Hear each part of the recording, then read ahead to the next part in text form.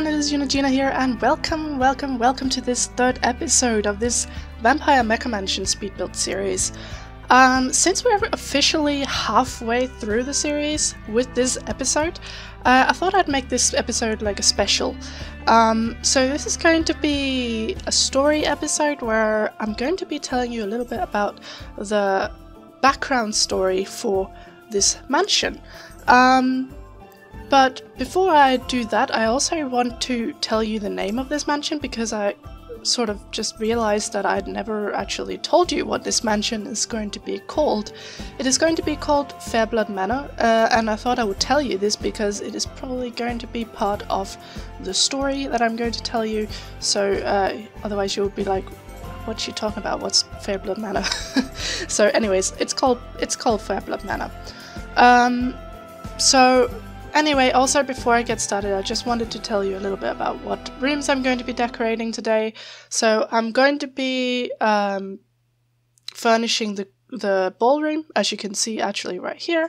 Um, so last time we furnished most of the lower floor, so it's pretty much just this that's left. Uh, I just did a small room before, but otherwise it's just a ballroom here, and then we're going to move upstairs, and there we're going to be um, furnishing the great la- library, the two story library that I am so excited about. And then we're also going to be decorating the lounge, which is also a really cool room.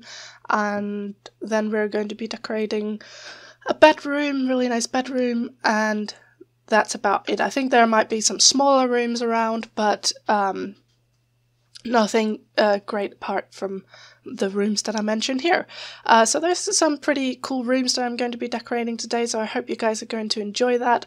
Um, again, I thought they were really cool, and it's it's it's just a really nice mansion. I just enjoyed myself so much building this. Um, but yeah, anyways, guys, story time.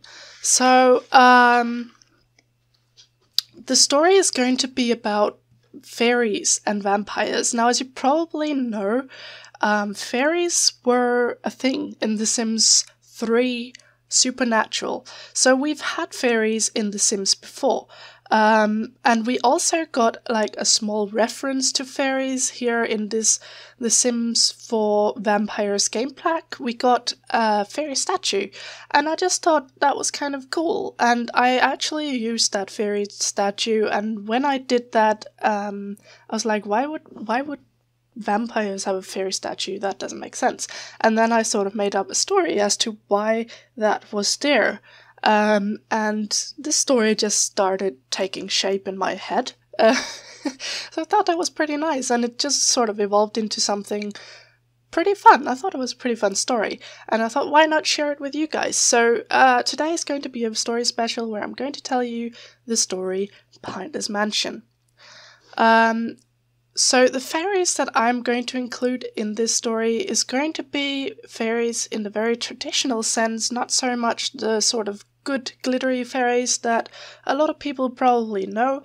Um, but if you look at folklore um, and traditional literature and all that, the fairies that you see there will be more of a sort of a spirit um, and a trickster um, in some sort of sense, uh, where they'll be tricking humans into traps and whatever not.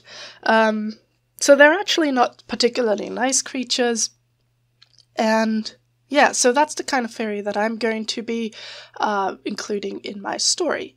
So without further ado, I think we should get started on the story because I'm kind of excited for it. So once upon a time in The Sims 3, both fairies and vampires lived, but they were great, great enemies, and both species had something that the other wanted. The fairies had magical blood, and if the vampires drank it, they would become very, very powerful. The vampires, however, also had something that the fairies craved. They did not have any special magical abilities, that's true, but they did have immortality. So that was definitely something that the fairies was inter- were interested in. The fairies worked and worked on finding a way to absorb the power of immortality from the vampires, but none succeeded. However, one day the fairies did find a way to perform a magical spell that would rip the vampires of its immortality and leave them vulnerable to attack. The fairy would not absorb this immortality, but the spell was effective as a weapon against the vampires, who hunted them for their magical blood. The fairies sorry, the fairies began to seek out the vampires and take their immortality away so that they would no longer pos- uh, pose a threat to them. They would disguise themselves as vampires and have the vampires invite them into their homes, and when the vampires least expected them, the fairy would cast a spell that would take away their immortality. Now, you may have noticed actually that I've been putting quite a lot of mirrors around this house. Now, the reason for this is because the mirror served as a security measure for the vampires residing here. You see, the vampires do not have reflections, but while the fairies could disguise themselves as vampires to trick them into a false self sense of comfort, the fairies could not get rid of their own reflection. The vampires knew this, and therefore they put up mirrors everywhere so that they did not get unwanted guests. So if a fairy entered the house, they would be able to see if they were actually a vampire, even if they were disguised as one. They would be able to see their reflection and reveal their true identity. The war between the species went on for centuries until one day something changed. A very, very powerful fairy managed to do something that no other being, fairy or not, had ever achieved before. This fairy found the spell that would not only rip a vampire of its immortality, but it would also absorb it. The price for this spell was terrible, however, quite irrelevant to this story, and the fairy quickly became corrupted by the immortality. She refused to reveal to her fellow fairies how she managed to gain immortality. Thus she remained the only immortal fairy in the world. Because of her immortal nature, however, the other fairies started to refer to her as the Mother Fairy. The vampires, on the other hand, felt the need to go on the offense. An immortal fairy meant great trouble for them. The fairy still had the ability to take away their immortality and effectively kill them, but they could not kill her in return because she had gained immortality. Not knowing what to do with the mother fairy, the vampires sought out witches, long known for their very powerful magic. They wished to find a spell that would get rid of the fairy. The witches were not really quick to say yes to the vampire's plea of help, as they saw them as an abomination of nature. However, because the fairies too, and especially uh, the immortal one, was an was uh, very worrisome for the for the witches because they too had magical abilities and they were luring humans into traps and they were doing all sorts of things. The witches did not like them either, so they agreed to help the vampires with their fairy problem. The witches told them that it would not be possible to find a way to kill the fairy or take away its immortality, but they do know, or they did know of a way that they could help the vampires to trap her. The vampires would have to draw a large symbol on the ground that they would have to lure the fairy to. Once the fairy was within the borders of that symbol, she would be trapped and unable to move. They would then have to perform a spell that would petrify the fairy. Uh, not the fairy, what am I saying? The fairy. Um, the vampires did as they were told, and after much planning, they managed to set up a trap for the fairy, and that would lure her to the symbol um, that the vampires had then drawn on the great balcony of the Fairblood Manor. Now, that balcony is the one that I've been talking to you about a few times with the sort of ruins look to it. So, that is the balcony where they put down the symbol. The trap worked, and the Mother Fairy found herself trapped on the balcony, only to see a clan of hooded figures mumbling and chanting as the flames of the candles surrounding the symbol flickered furiously. These were the last thing that the fairy saw, and from that day she was petrified and trapped in the mansion belonging to one of the most powerful vampires in the world. The vampires were not quite done with their deed, however. They knew that the other fairies would come looking for the mother fairy, While the vampires had always had an interest in keeping fairies alive because their blood was such a great use to them, they decided that they had to kill all the fa- fairies. They did not want to risk any of them to find and free their leader. As the legend goes, the vampires managed to find a way to kill all the remaining fairies in the world, only leaving the one immortal mother fairy trapped on the balcony of the Fairblood Manor. However, whispers have been heard in the world of The Sims 4 that not all fairies are dead. Some are still alive, even though they're in hiding, and they are plotting against the vampires and they are planning to free the mother fairy from her vampire prison. If the if the whispers are true, perhaps we will once again see, see fairies in the world of The Sims 4. But it is not anything else but a rumor. Perhaps all fairies are indeed gone. We don't know. So that is my little background story for Fairblood Manor. And I don't know, I thought it explained a little bit the absence of fairies in The Sims 4 since we had them in The Sims 3. I thought it was a really cool idea to just sort of explain why do we not have fairies now that we have vampires. Um, and it would certainly make like way for a comeback for the for the fairies. Um, so if we ever do get a supernatural expansion pack, which I don't know, we probably will. I don't know. I don't know. Maybe we will.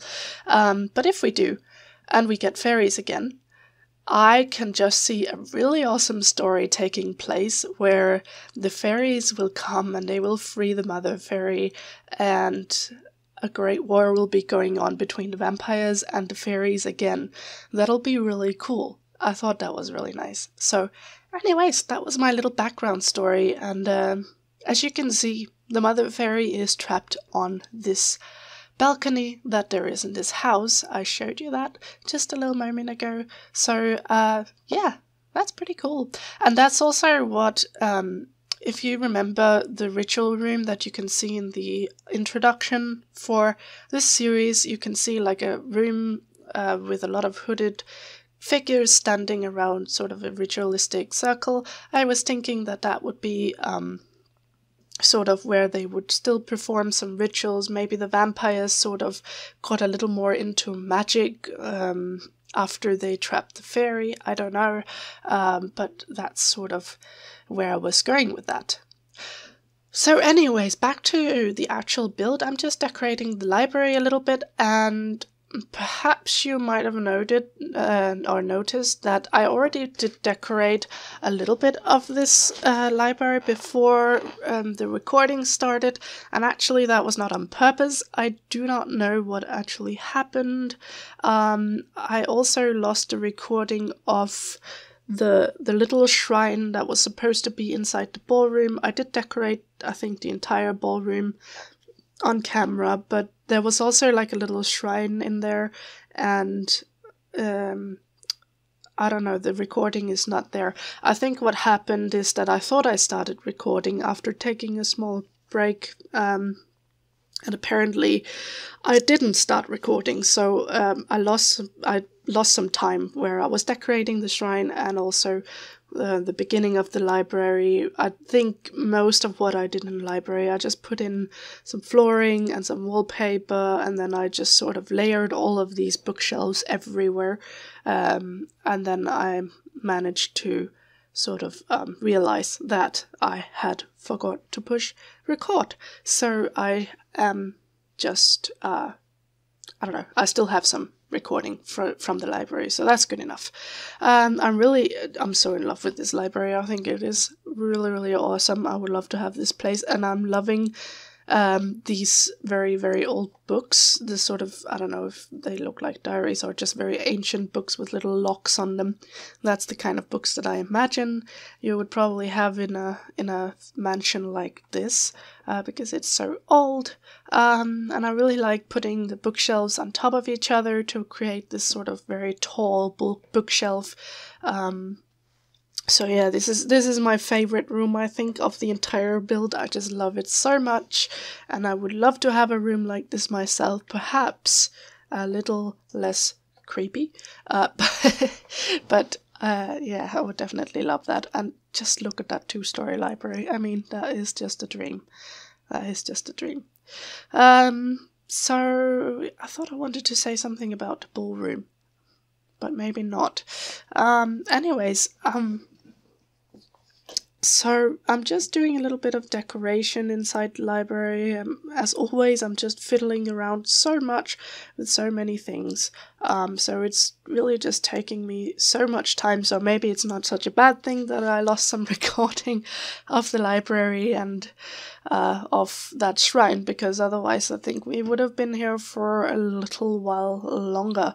And either way, I think you are still getting quite a bit of the decoration of the library, the most important part at least, you're still getting. And I can really feel my voice getting very hoarse, so I'm so sorry. I think it's my medicine that I'm taking that's making me, uh, making my voice really bad. there isn't really anything I can do about it, so I hope that is okay for you guys to listen to. So, um, after this one, I think we're moving on entirely just to the to the lounge room, and that one is really cool. It's a it's a very dark room, and when I say dark, I don't mean it's not lit up.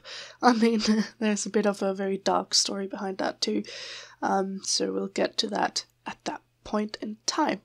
And I'm really loving using all these um, spooky stuff curtains as well in this in this build because I think I like this sort of ripped curtain thing going on.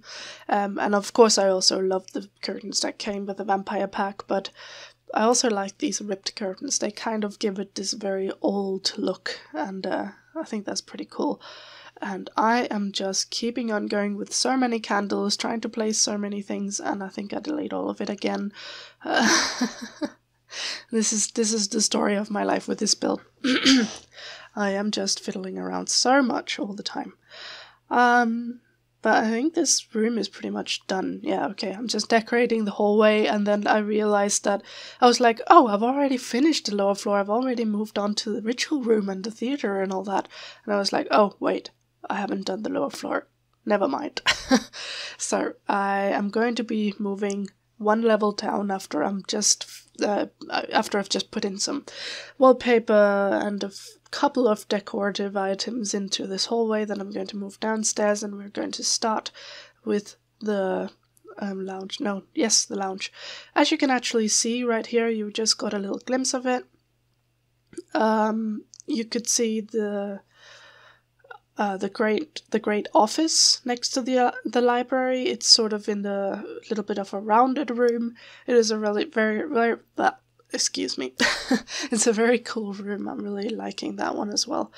Um, and I kind of like this purple plant, and I'm putting this there for now, but I'm going to move it because I didn't really like the combination of red and purple, so that one is going to go at some point, but not in this episode, I think, because I realized that I had to decorate all of this stuff first.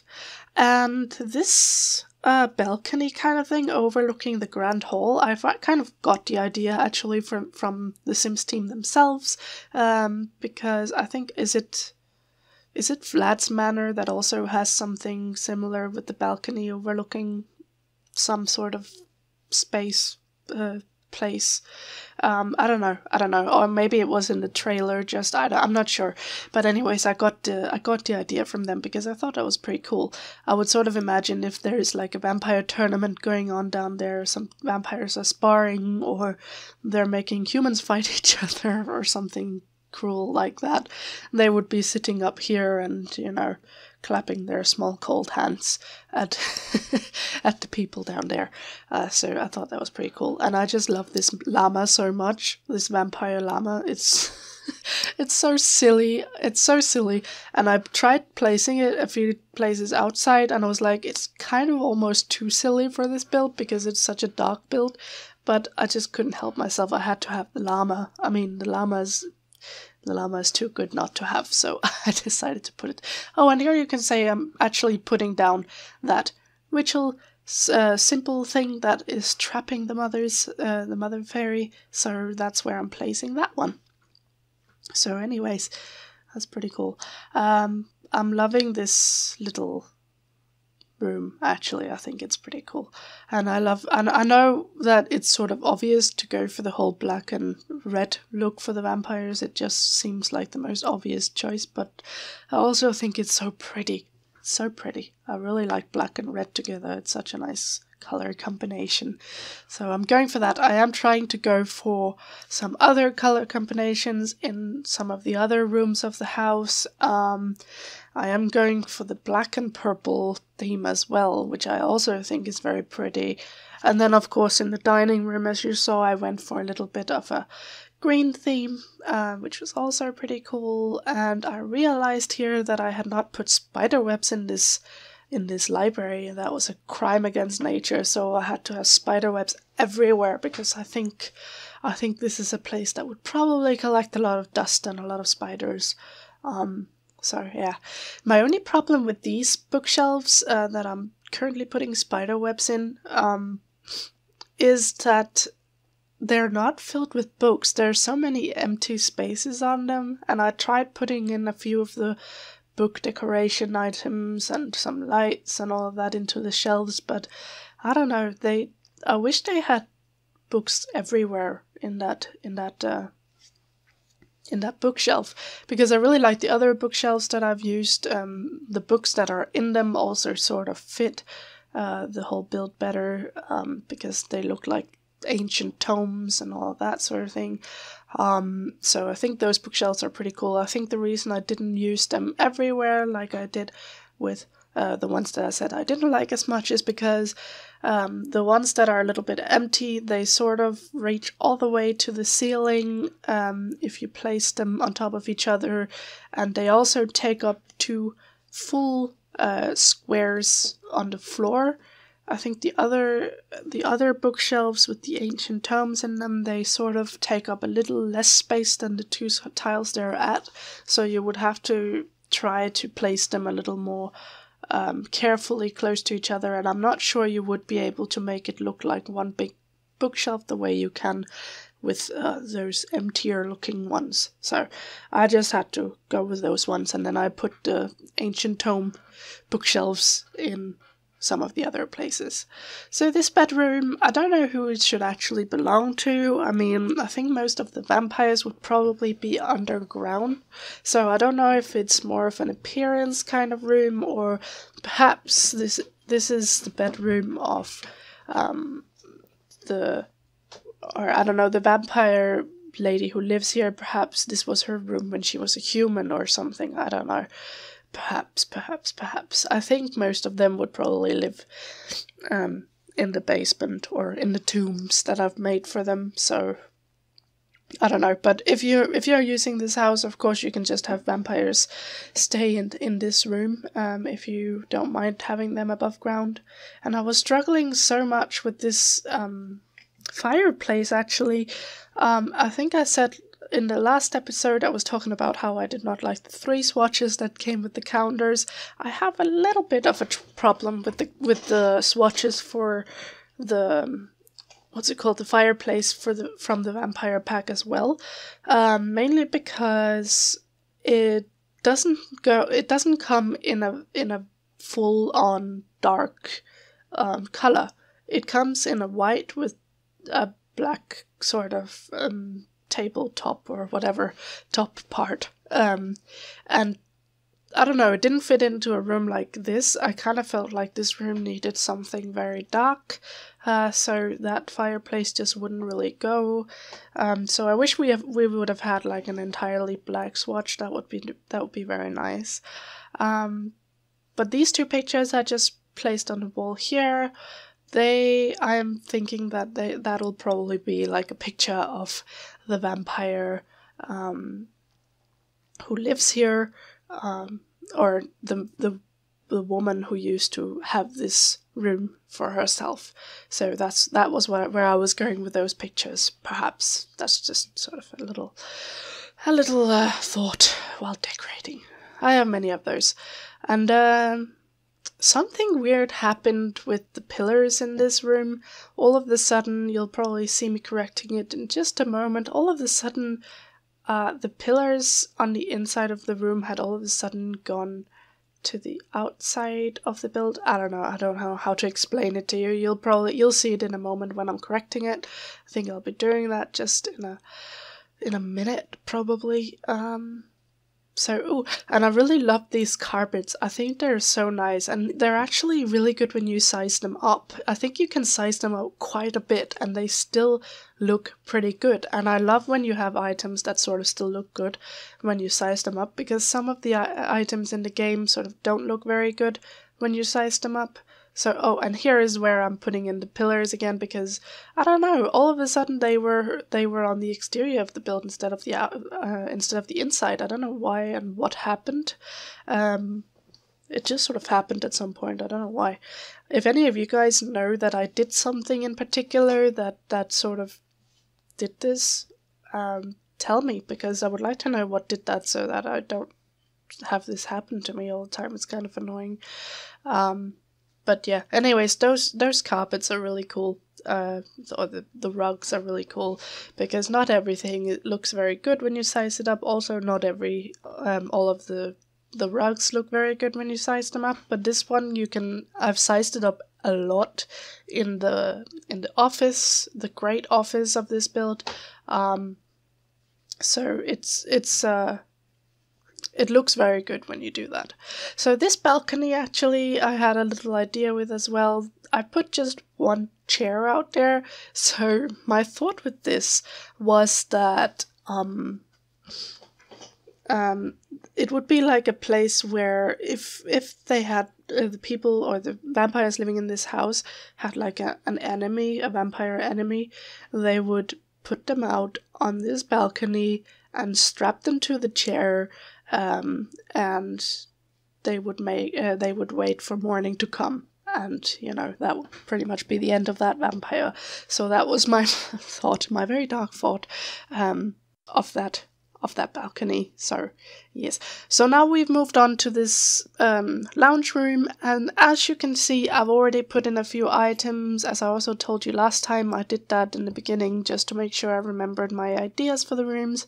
And this uh these cages that I've put up I've used these these are from um what's it called? The get to work where you have prison cells and all of that. So if you just use the bb.show hidden objects cheat then you will be able to see this um but yeah these are like prison pieces that I've put and I'm thinking that these two cages will be like a place where the vampires will uh, catch a human and they won't feel like you know drinking right away.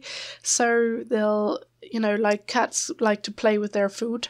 Uh, that is exactly what i'm thinking the vampires will be doing as well. So they'll be catching a human and they'll be putting them in there and you know they'll be having a good time inside this room lounging in this room and then they'll just sort of go to the cage and have a drink occasionally when they feel like it um, so as I was saying, this build is pretty dark. Uh, I hope you're not um, sort of queasy person because because yeah, it it is a little dark.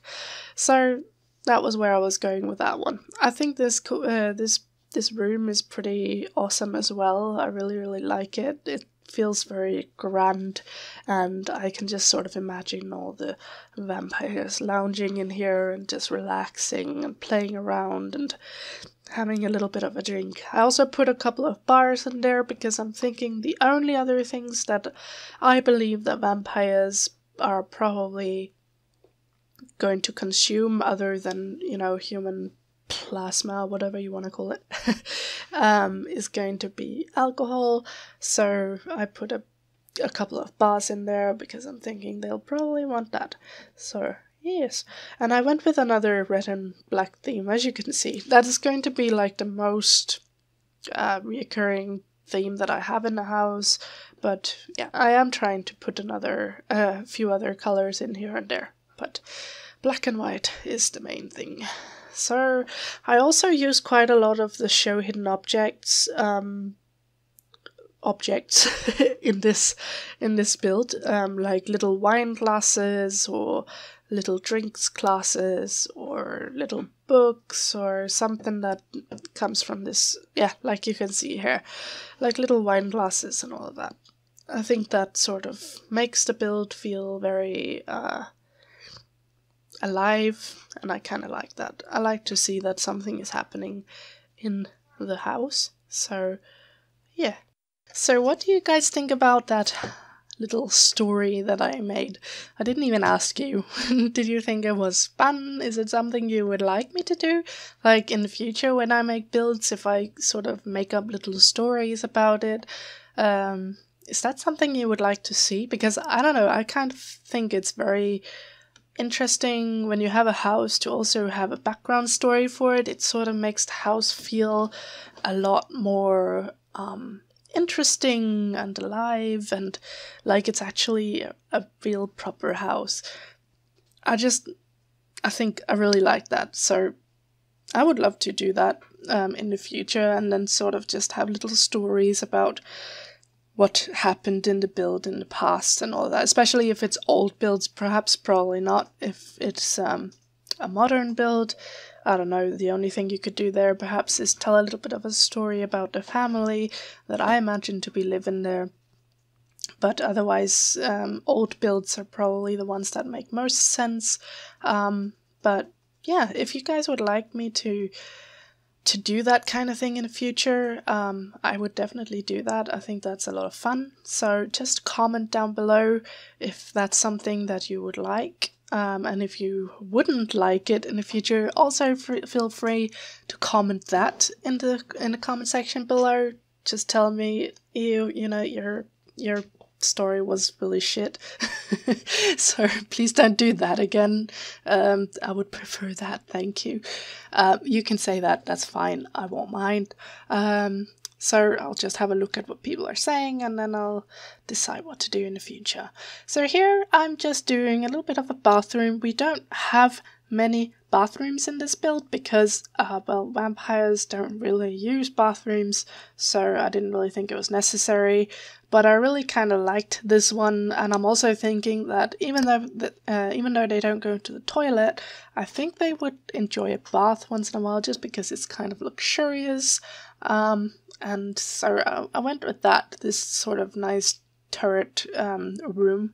I just thought it would be really cool to have a bathtub in there with lots of candles everywhere, and that would be a pretty nice place to be just relaxing a little bit. Um, so, yeah, I thought that was pretty cool. And I really love using all the candles, as you can see. Um, so, yeah. Uh, I also put in mirrors here, and as I was telling you in the story, I mean, I know I, am saying that the mirrors are primarily there to reveal uh, potential intruder, fairy intruders, but I'm also thinking that the vampires use the the mirrors to sort of um, I don't know, check in on themselves, make sure they're feeling all right. Oh, okay, I'm still a vampire. Don't worry, nothing to worry about. I don't know. or maybe some of them are feeling like sad that they can't see themselves anymore, or I don't know. Um, I don't know. I just really liked using these um, mirrors all over the house. Um, some of them are for security measures, some of them are for the vampires themselves, just because they sort of like to do that. I'm also, um, if you remember, in the start of this.